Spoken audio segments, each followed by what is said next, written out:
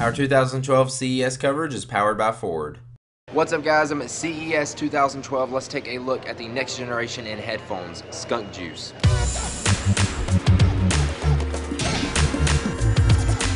The Skunk Juices come with two pair of in-ear headphones that connect together with the magnet connectors on the ends. Up to four pairs of the headphones can be connected at once through the magnetic connectors while still retaining the same audio quality.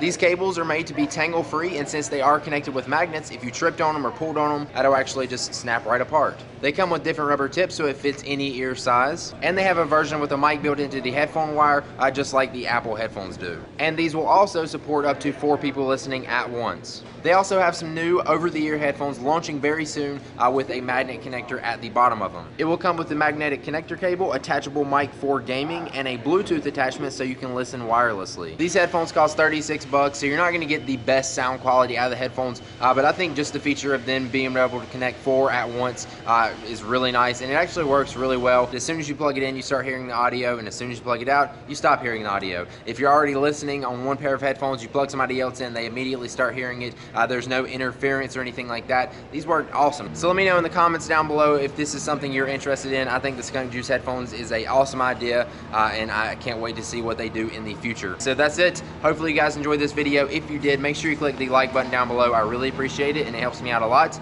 And I will see you guys with tons more videos of CES. Peace! Thanks again to Ford.